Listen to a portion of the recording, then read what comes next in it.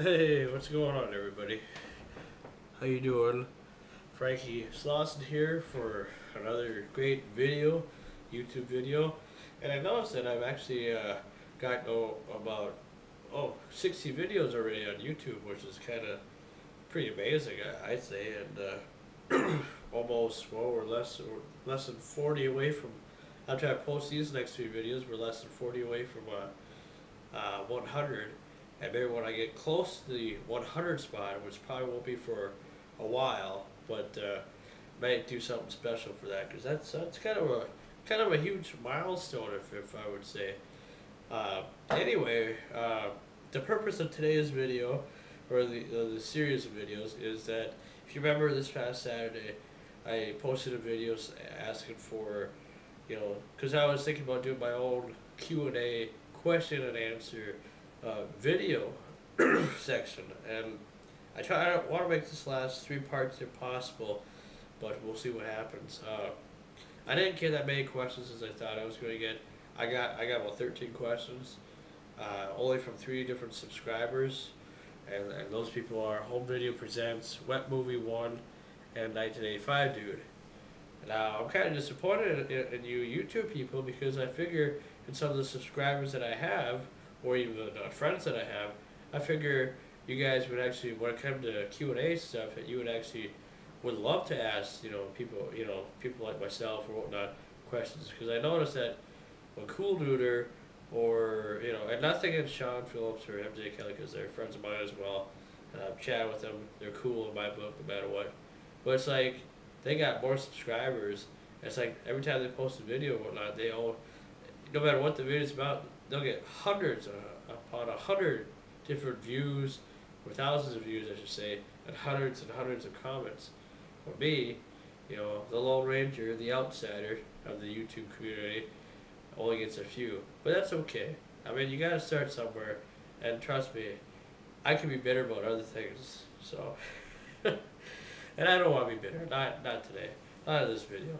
But any, you know, I I figure instead of uh, asking any more to you know to ask any more or people to ten questions or, or whatever because maybe I'm not that interesting as a person or maybe my videos haven't really gotten the most interesting mark yet maybe I got to do more work. Well, that's fine you know it gives me more chance to be motivated. Because trust me as 2009 gets here we will we definitely I, I can guarantee that you will definitely see a change in my channel and maybe you know, before the year's over, that I might be the next talk of the town or might be the next cool duder. Who knows? But uh, just a goal to goal to achieve. Uh, anyway, I am going to ask uh, answer some of the questions that I got. Uh, come to three subscribers. I'm going to go in somewhat order here to the latest questions that were asked, and uh, here we go. Uh, and these next first three questions are from Home Video Presents YouTube user Home Video Presents, and the first question that they ask is, or I, I think he's a, I think he's a guy. I think uh, the first question he asks is, "What is the most embarrassing thing that happened, or that has happened to you?" Most embarrassing thing that has happened to me. Uh, well, there's been a lot, lot of embarrassing things I, can definitely say, but as far as recent things, because I could I can tell you stories of embarrassing things that have happened to me, but I, I'll just stick with recent stuff. Uh, I uh, well, may you know that I got fired from the casino for quote unquote taking tokens or whatever from the arcade, and I thought how embarrassing was that that you know you got some of these fr- freaking people, some of these Native Americans, nothing against Native Americans, you know, nothing against anybody, but you got some of these people that are you know are lazy, out of shape, you know, smell bad, uh, just, you know, don't care about themselves or their jobs or anything like that. And I'm being honest here.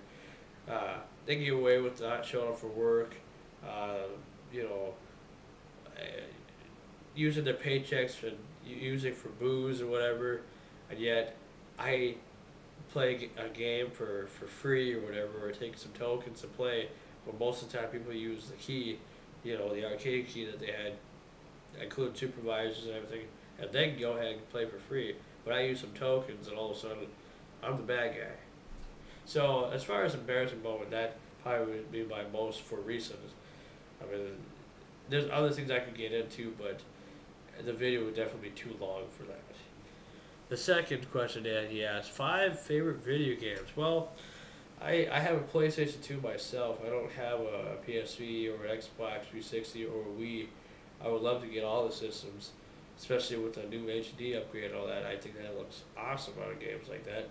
But uh, I'm, I'm pretty old school. Uh, but I'm pretty much a fan of the SmackDown vs. Raw series as far as, uh, oh, as far as, you know, different, uh, uh, different games or whatnot, you know, because to me, now that we've come out with SmackDown vs. Raw 2009, uh, pretty much grabs 10, the first 10 years if, or, or so of uh, video games and, and each SmackDown vs. Raw game. More recently, originally the the SmackDown series, you know, started on the PlayStation One console, and then eventually, after the third one was installed, uh, we just bring it I think it was yeah, just bring it because it was SmackDown, SmackDown Two, Know Your Role, SmackDown Three, Just Bring It, SmackDown Four, Shut Your Mouth, SmackDown Five, Here Comes the Pain, and then the other one was then SmackDown. It started SmackDown vs Raw, SmackDown vs Raw, two thousand six, and SmackDown vs Raw two thousand seven, two thousand eight, two thousand nine. Yeah. Anyway. So as far as I can say, the, the SmackDown vs. Raw series is because they're they're cool games, and I'm a big wrestling fan, as you can tell. You know, you know the big you know roster. I just got this for Christmas thanks to my good friend uh, that I won't mention, but good friend. Uh, so yeah, uh, as far as you know, five. I don't. It's hard hard to pick. You know, I mean I'm old school. I like the Nintendo systems. I like you know the. Uh, Super Mario Brothers games. I like the NBA Jam games. I like the Terminator games. Uh, you know, Back to the Future. You know, I like watching the you know angry video game nerd and uh, watch his stuff on on the uh, on old classic games. Uh, used to watch the Irate Gamer right here. Sometimes I still watch him too, but I've heard that he's a lot, and I've even noticed this. He's more of a copycat of the, the angry video game nerd that's a subject for another time. But you know, I still say James, the Nintendo nerd, does a lot better job as far as with original stuff and and uh, actually put a lot of effort into the work that he does as far as you know for video games. But anyway, as far as video games go, yeah, just pretty much anything old school, and the SmackDown vs. Raw series. All right, the last question they asked. Uh, from Home Video Presents, YouTube uh, YouTube user Home Video Presents, he asks, "What is the craziest thing you've ever done?" oh boy, oh boy, craziest things ever. Let's see how much time we have first here before I go on that. Oh, we got a couple minutes anyway before the first part comes end. Oh, do you hear what I hear? Sorry about that. Uh, what was I gonna say? Uh craziest thing I've ever done. Uh, well, besides that, uh, um, there's been a, a, few things, I guess. You know, I did ask this one chick or whatever a couple years back when I found out that one of my friends uh, got married. You know, we were only going out for maybe a month or two, and I got the courage to to ask her to marry me, which kind of freaked her out, I guess. You know, I guess I should, wasn't supposed to ask that right away. Uh, but uh, course, she denied because he was she was she was in fear, and I was like, I didn't know what I was thinking. I just went with it, I guess. But uh, uh, other embarrassing moments uh, or the craziest thing I've ever done. Uh, well, I don't know if this is something I should say on the computer, but or on the internet. But uh, I did have this one fight with this one guy uh, back eight years ago. Uh, be about eight years ago in January name, well, I won't go into names, but uh, where we fought for about four months, and it got to the point where uh, it was getting pretty brutal to the fact that his own family were so afraid of me that they didn't want me to have no contact with, with, with him or at all for a year. So you know what they did? They sent me to court, and they put a one-year restraint order against me. Man, I wish you people would have known me back in the day when I during my attitude time because I was more like a rebel and all that stuff. You know, when I use the word the outsider, I I, I mean it. I was an outsider, and uh, still to this day, I still believe that. Uh, it always will be. But anyway, this ends part one of the Q and A. Hopefully that'll answer your questions. Their home video presents.